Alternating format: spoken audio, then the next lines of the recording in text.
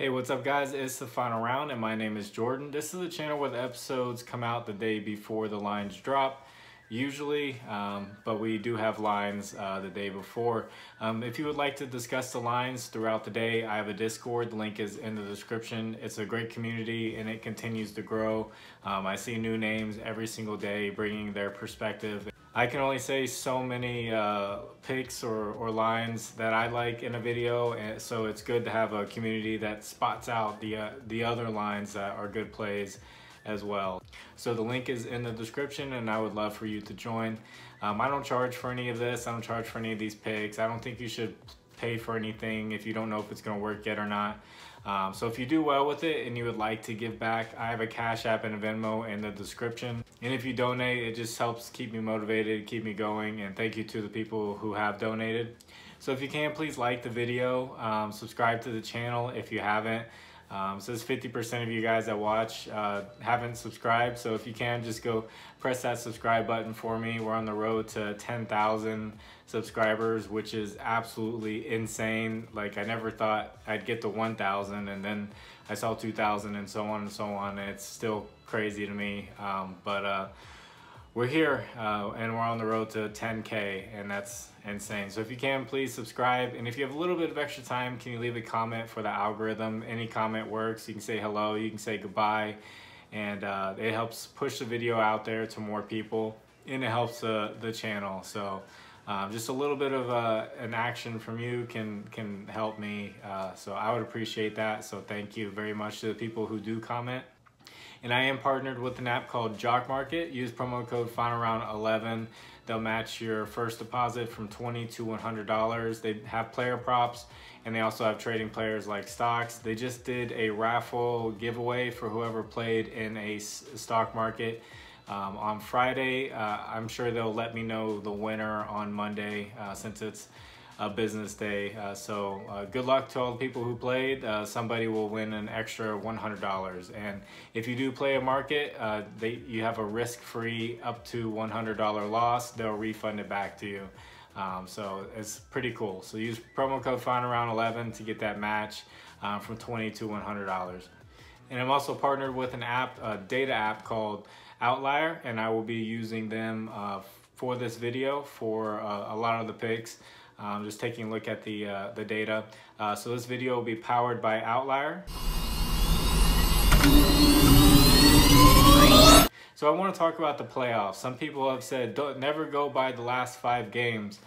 And uh, that is true during the regular season. The last five games isn't that doesn't always tell the, the whole story, and you want to take a look at you know head-to-head -head matchups and, and other games. But when it's the playoffs and you already have a five-game sample or a six-game sample, that's what you look at. The regular season no longer matters. Um, so that's what we went with, and it, it worked out for a lot of the picks um, last time. Uh, the, so regular season matchups don't matter if you're, you know, four, five, and six games in. So I do want to talk about our game seven and some picks that, that I like. Um, the first one's gonna be Malik Monk over 25 and a half PRA. Now he is absolutely exploded. I don't know what is going on with him. But that last game, that game six, he just was hitting everything. And the game before, I had his PRA, and uh, he he got like 19 PRA in the fourth quarter alone. Uh, so he has been on fire. Um, in this series, he has hit this line uh, 25 and a half five out of six times. Uh, so I like the over for 25 and a half PRA for Malik Monk. And second pick, uh, I'm going with it again. Um, I, I still, I don't know if Steph Curry is going to have a crazy shooting game, so I'm going to look at his rebounds and assist prop. They have not changed this at all. He has not gone over uh, all six games of this series, uh, so 100% rate um, that this has been hitting. Um, and they have it at 11 and a half rebounds and assists. So I'm looking at the under for Steph Curry on that rebounds and assists. And the third one's an interesting one. Uh, Keegan Murray, at the beginning of this series, he wasn't playing many minutes and it looked like the coach didn't trust him much, maybe because he was a rookie. Um, but by game three, his minutes started to go up and up and up. And that last game, he played 45 minutes. Now I know some of that has to do with uh, Domantas Sabonis foul trouble, but he's still getting a ton of minutes. And his uh, PRA line is still pretty low. So I like the over of 19 and a half PRA. Um, if you uh, don't like uh, the PRA, he has been rebounding very well um, ever since he's gotten extended minutes. So you can look at his rebound line. So in the last three games, since he, his minutes have been going up and up and up, he's gone over this two out of three times. And uh, I, he was a very key part of that game six. Um, so I'm, I'm liking his, his over for points, rebounds, and assists.